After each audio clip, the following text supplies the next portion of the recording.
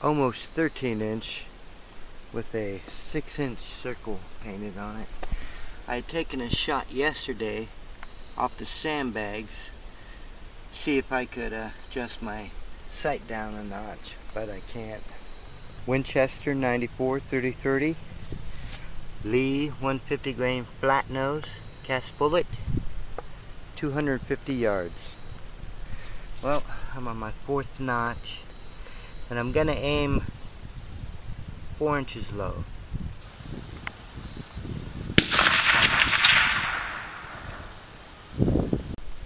Overcompensated for the damn wind. I didn't even see that move. So this might not work as well as I had hoped it would. I'm gonna take a shot off this fence to see my 280 yard height.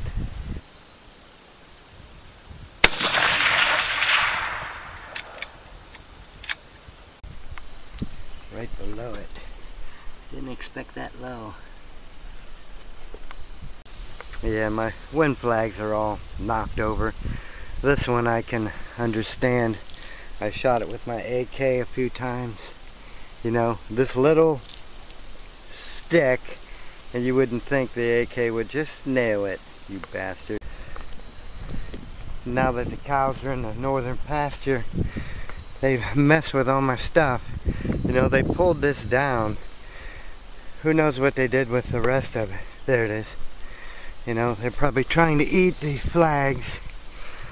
So it looks like